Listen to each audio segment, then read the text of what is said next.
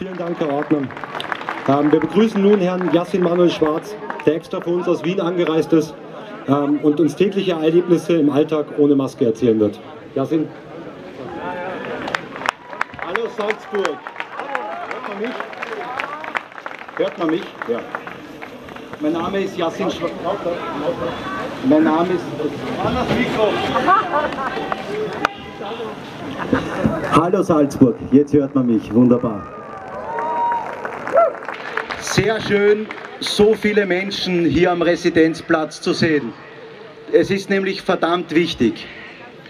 Kurz zu meiner Person. Mein Name ist Yassin Schwarz, ich bin 41 Jahre alt, war sehr lange selbstständig im Bereich Sicherheitstechnik und auch über 30 Jahre im Sport tätig.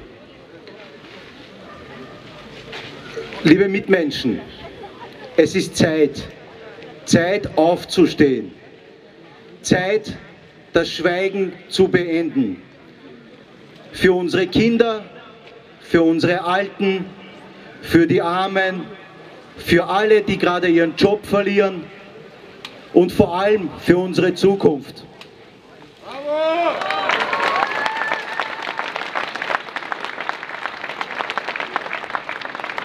Ich für meinen Teil werde nicht warten, bis ich meinen Job verliere. Ich habe meinen Job nämlich hingeschmissen.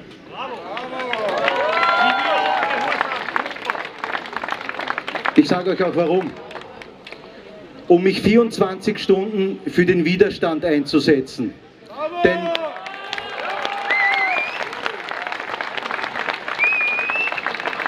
Denn das ist nicht mehr das Land, in dem ich groß geworden bin. Ich habe wahrscheinlich so wie ihr alle den ersten Lockdown ohne nachzufragen mitgemacht. Aber schon nach ein paar Tagen wurde mir bewusst, da stimmt was nicht.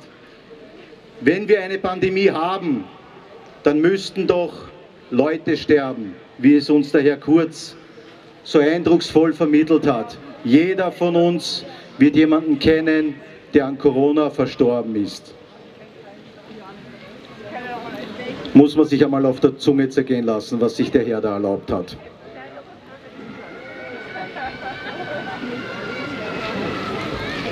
Wie gesagt, ich war sehr lange selbstständig im Bereich Sicherheitstechnik und war deswegen bei Einbruchsopfern zu Hause. Und wenn man das einmal miterlebt hat, wie sehr diese Menschen von Angst erfüllt sind, und wie das logische Denken plötzlich nicht mehr funktioniert, wie panisch diese Menschen sind und auf keinerlei logische Argumente mehr reagieren, dann weiß man, was zurzeit im Großteil der österreichischen Bevölkerung los ist. Die Regierung schürt jeden Tag Angst und Panik über die Medien. Und leider spielen diese Hauptmedien auch noch mit bei der ganzen Geschichte.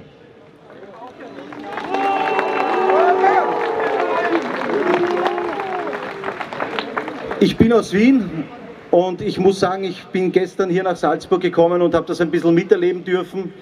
Ich muss sagen, hier in Salzburg ist das noch relativ human. Ich wurde weder am Bahnhof noch beim Spar oder irgendwo auf einer Tankstelle wegen einer Maske angesprochen. In Wien aber stellt sich die Situation bereits ganz anders dar. Ich wurde mehrmals beschimpft, bespuckt und mittlerweile auch von einem Busfahrer körperlich attackiert.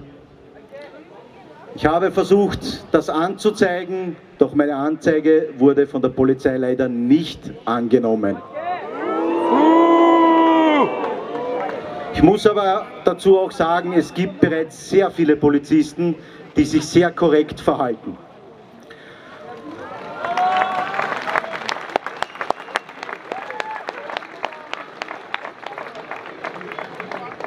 Als jemand, der seit sechs Monaten keine Maske trägt, und ich werde euch, ich sage euch eins, niemals werde ich eine Maske tragen. Niemals. Ich kann euch nur den Rat geben, lest euch die Covid-Verordnung durch. Wer den Paragraphen 11, glaube ich, Absatz 3 kennt, Es gibt keine Maskenpflicht. Niemand muss eine Maske tragen, wenn er das nicht will. Deswegen fordere ich euch auf, legt die Masken ab.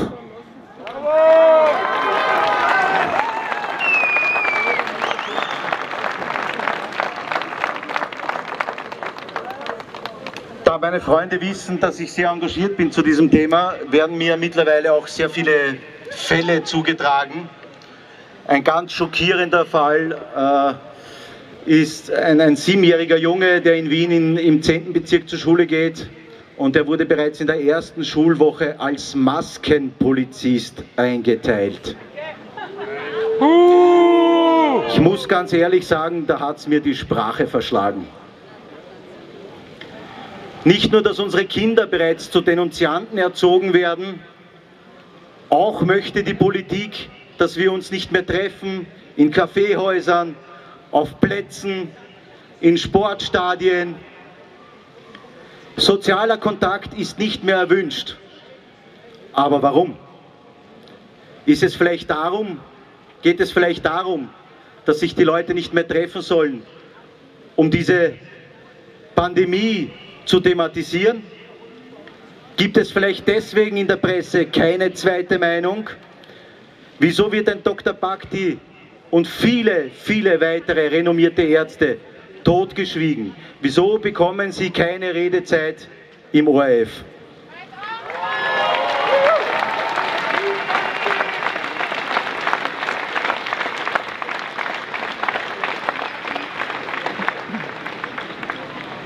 Wir werden, wir, die Maskenlosen, ja, wir leben noch in der alten Realität.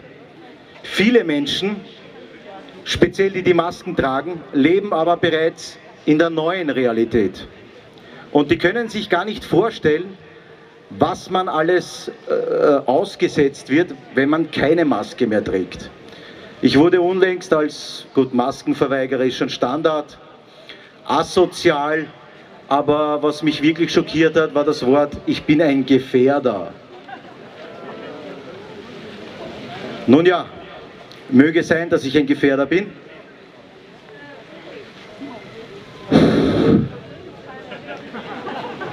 Da bleibt man manchmal echt die Spucke weg. Was passiert in der Gesellschaft?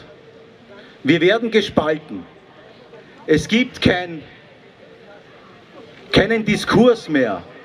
Wie ist das normalerweise in einer Demokratie? Da gibt es die eine Meinung und dann gibt es die andere Meinung. Dann geht man einen Schritt aufeinander zu und im Idealfall trifft man sich in der Mitte und es gibt einen Konsens. Das, was aber hier gerade stattfindet in unserem schönen Land, ist einer Demokratie unwürdig. Diktatur!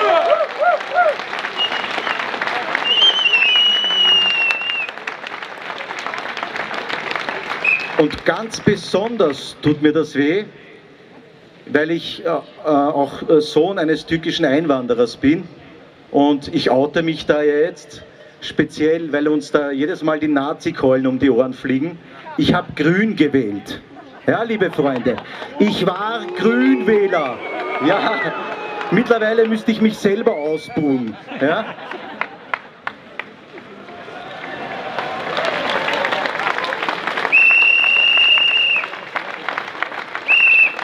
Also, liebe Bundesregierung, hier stehen auch Grüne, hier stehen Rote, hier, hier stehen Schwarze. Wir sind die Mitte der Gesellschaft. Wir sind nicht irgendwer. Wir sind die, die euch bezahlen.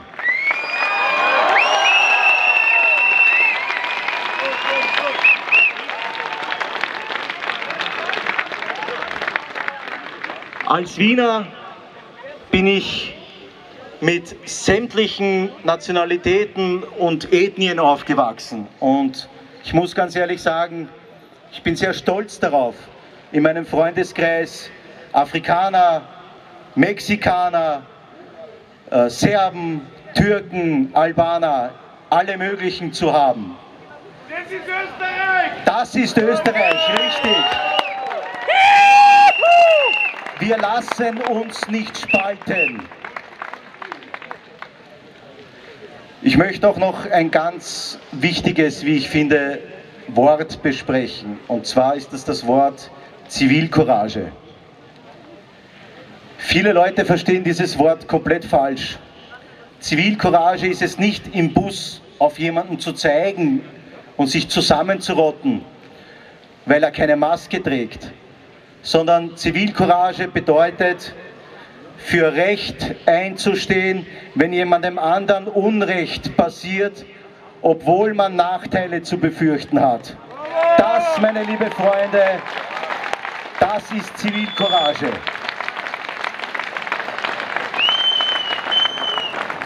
Und ich fordere von euch allen diese Zivilcourage ein. Helft euch, seid solidarisch, nicht dieses solidarisch. Das ist feig sonst gar nichts. Eine Maske, sich hinter der Maske zu verstecken, ist feig.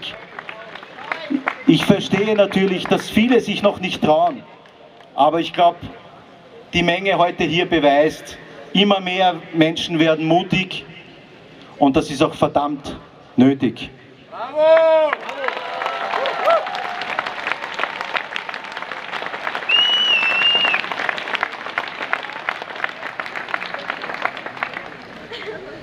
Ich möchte euch gar nicht mehr viel länger transalieren. Zum Abschluss möchte ich euch einfach nur sagen, steht auf, habt Mut. Wir sind im Recht und Sie betreiben Unrecht. In diesem Sinne, danke Salzburg fürs Zuhören. Das nächste Mal nimmt jeder von euch einen mit, dann sind wir doppelt so viele.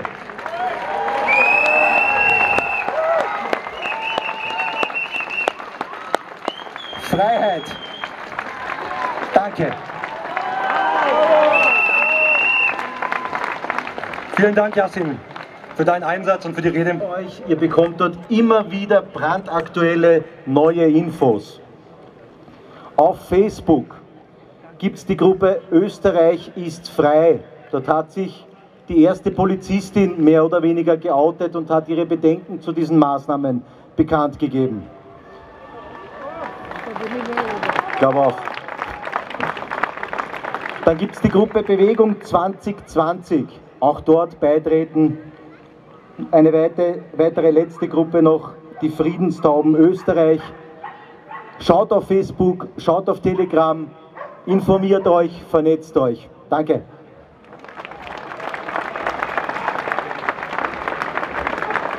Dazu möchte ich auch noch kurz was sagen. Uh, unser Verein hat natürlich auch eine Telegram-Gruppe. Wer Interesse hat, einfach kurz am Infostand nachfragen, da kriegt ihr dann die Zugangsdaten.